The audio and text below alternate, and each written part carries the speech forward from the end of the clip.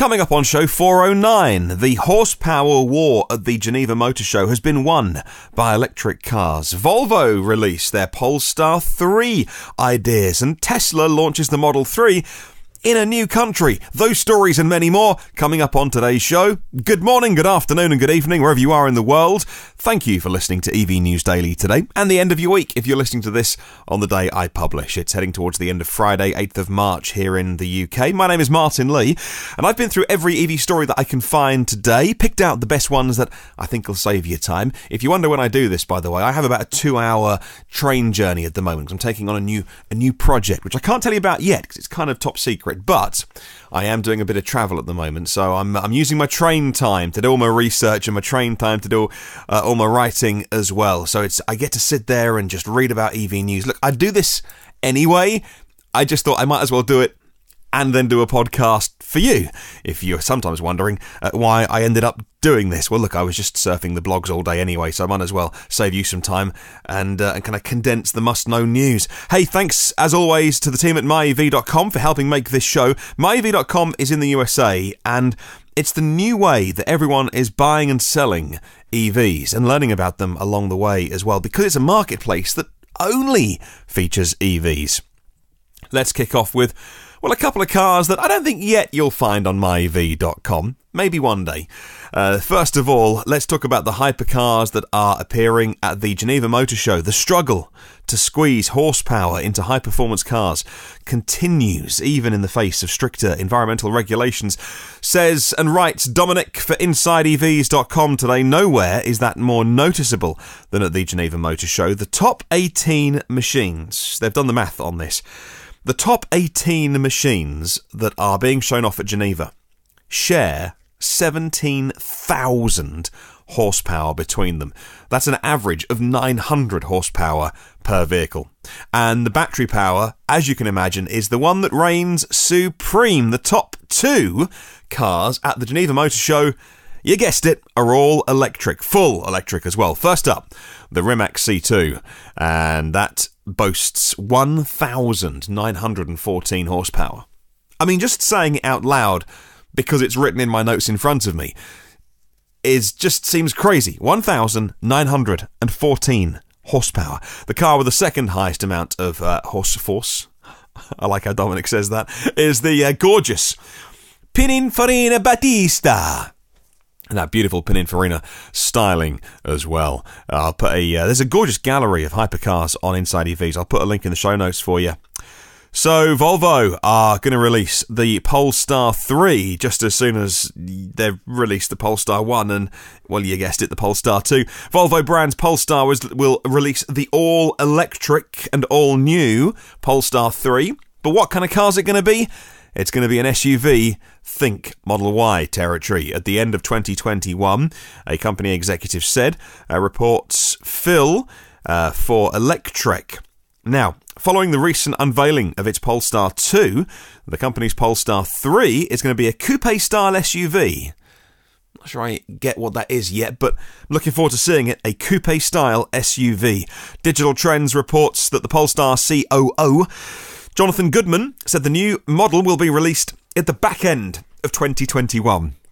Knowing how EVs get delayed, let's call that 2022, should we? Goodman also said that the Polestar will continue to expand its models in the next decade. The company looks to keep its simple naming convention, therefore, three will be followed by four, you guess the rest. I'll put a link to Electrek in the show notes. Right, moving on.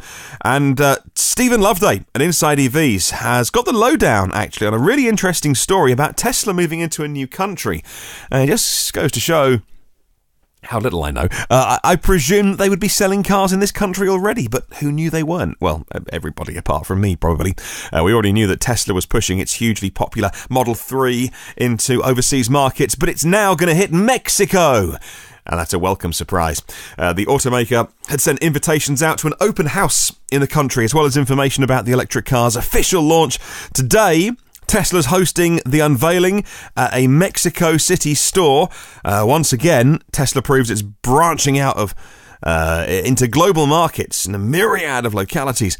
Uh, many naysayers continue those that want to see the company fail, those that are betting financially big bucks on the company failing. So they, they put this this FUD out of the FUDsters, this fear, uncertainty, and doubt. They put they'll make anything up and put it out into the world and hope it gets traction, that news outlets pick up on it just to see the company crumble. But there's so much good news around Tesla right now. Stock price, by the way, heading back up today. Uh, their newfound focus is clearly in international markets. I'll put a link to that in the show notes. A company that's been selling cars around the world, EVs around the world, I should say, for a while, is Nissan with the Leaf. Nissan's announced a new wave of new versions and upgrades to the Nissan Leaf vehicle range. It's Europe's top selling 100% electric car, and they say it's going to become more appealing than ever. Let's learn about the Leaf then. Following the runaway success, they say, of the Leaf E Plus 3.0 limited edition. I tell you what, it's not the catchiest name, is it? The Leaf E Plus 3.0 limited edition Nissan has made its longer range version available as a permanent edition. Here in Europe, we call it the Tekna grade, but of course, it's called different things around the world. The Leaf will also offer a series of connectivity and technology upgrades to enhance the user experience, coupled with the all new Nissan Connect Services app. There's a new app coming or has it arrived already? No, I've seen too many complaints on my Twitter timeline from people trying to preheat their car and the app failing, so it can't have arrived yet. Uh, well, I hope it's not the new one anyway. Uh, the new model's navigation system gets TomTom live with traffic and route optimization. You get comprehensive nav assistance, door to door navigation. Uh, the all new Nissan Connect smartphone app is going to include several remote control functions for charging the car, for battery status as well. Uh, the Nissan Leaf variants are now available to order in Europe. Delivery summer this year. Well, moving on to a CEO who says maybe, just maybe, will Tesla have it right? Simon at Teslarati has a story today on their online sales, and that actually hooks in really nicely with our question of the week, which I'll remind you about at the end of the podcast today. Tesla's decision to adopt an online only model to sell its EVs was defended by the CEO of Carvana. Now, we don't have Carvana here in the UK, but I had some comments recently on a recent question of the week where a couple of people mentioned it. Uh, the CEO is Ernie Garcia. He went on CNBC's Squawk Alley uh, to discuss Tesla's new sales strategy. Uh, he noted that while Tesla will face challenges resulting from going online only, the company's returns policy will be the difference that makes the difference. He uh, goes on to say, uh, sorry, sorry, Simon at Teslarati says that Garcia's views on Tesla is coming from a well established position. Carvana is one of the US's premier online used car dealers. Uh, Carvana, apparently, I don't know, but they sell, they finance, and they buy back used cars through their website. And of course, they do all sorts of cars on there. Uh, the growth has been impressive, says Simon, and it's uh, up there with some of the biggest car sites in the US selling all sorts of cars. It's why uh, we have we have similar things over here. It's why I was so excited to uh, connect with the, the team at My EV because it sounds like well, Carvana sounds great for a certain thing, but you got to sift through lots of stuff. Wouldn't it be great to have just one place only selling EVs? Well, yeah, there is. You know the punchline to that. Uh, let's talk about Norway. Mark Kane at Inside EVs goes to Norway, not literally, or maybe he did, I don't know. Take a jacket, it's cold. In February, last month, almost 6,000 new plug in electric cars were sold registered really in Norway. It's a third more than a year ago, and it's a world leading 53.3 market share. Look, I, will say it again. I know you heard me the first time. I just want to say it again. 53.3 market share of all cars sold. Plugins. Best February ever. The month of February was the first for volume deliveries of the, uh, yeah, that's the Model 3. The month closed on almost 800 new reservations, uh, registrations, uh, second only to the Golf, all versions of the Volkswagen Golf. So the Model 3 would be ahead of the e-Golf, the Leaf, the Zoe, every other, the BMW i3. Of course, Tesla are going to prioritize Norway as a market because it's a hugely important market for them as well. And it's a country that is leading the way. Okay, so the numbers, the raw numbers are small, the data's small but it's it's an indication of what can happen if they get it right where you live.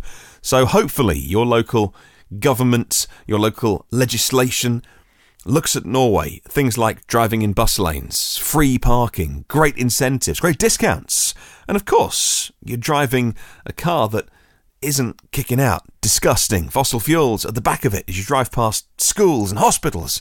We need clean air. And, you know, obviously on a global scale, but on a micro scale, if you like your neighbours, drive an EV. It'll make it nicer in your neighbourhood. And so, let's look at Norway as an example, as a beacon leading the way. All right, let's finish off on two wheels today. And uh, this is a story from rideapart.com about Eric Buell, who is getting back into the bike market with a company called Fuell, F U E L L. Uh, the Fuell Urban Mobility position has led them to create two new bikes. The first is called Flow. The Flow bike is 11 kilowatts, uh, equivalent to about 125 cc. That's, I think, that's the most powerful bike I've ever ridden is a 125. And like I say, uh, my wife is very keen for me not to be riding a bike anymore. And uh, there's also a 35 kilowatt version as well. Uh, it's got a integrated uh, gas tank on the bigger one, by the way. Uh, the pure electric ones will do up to 125 miles with two removable batteries up to a kilowatt hour. And if you want to find out more details, I'll put a link in the show notes. But it's kind of interesting that in the in the bike space, there's more and more announcements. It's almost like every day there seems like an announcement on electrified bikes, which is kind of we've been talking about the cars for so long. It's it's just great that there's more to talk about.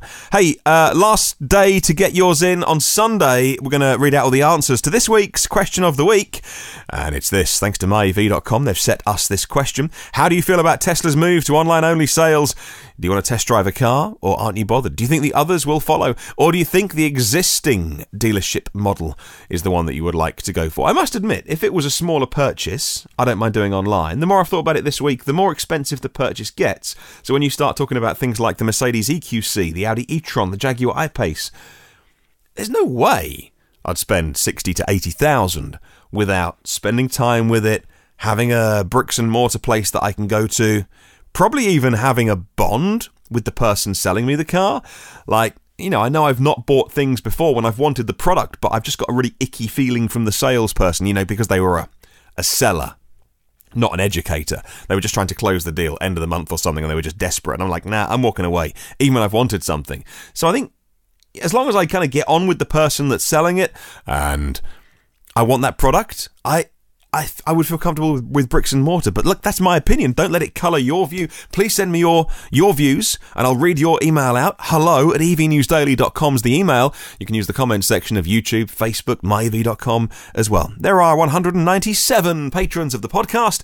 Uh, we use a funding model called Patreon. It's P A T R E O N, where uh, .com, where companies, where individuals, uh, at various levels of funding, some people just want to throw in five or ten dollars uh, because they like the mission that we're on, and some people like to use it so we, you know, mention our supporters and we talk about the people that fund the show. Whatever reason is, you can uh, check out Patreon. And if you go on there, you'll see all sorts of other creators on there as well, not just podcasts, but people making stuff and uh, and the community building it together, if that makes sense. But it looks totally it's totally optional. So uh, check it out if you want to. Right. So this is show 409. So there are 408 previous episodes online. They are online for free if you want to get any of the old ones. If you hit subscribe, you get the new ones first and free and automatically. Uh, I want to I want to get the uh, reviews up because it really helps recommendations. So even if you go like, yeah, he he's an idiot, or I, I you know I don't mind it. Write what you want, one star, five star, but if you're able to take two minutes to leave a review, eh, man, it just makes such a difference. In the meantime, say hi on Facebook, LinkedIn, and Twitter by searching EV News Daily. Do have a wonderful day. Until we speak at the weekend, remember, there is no such thing as a self charging hybrid.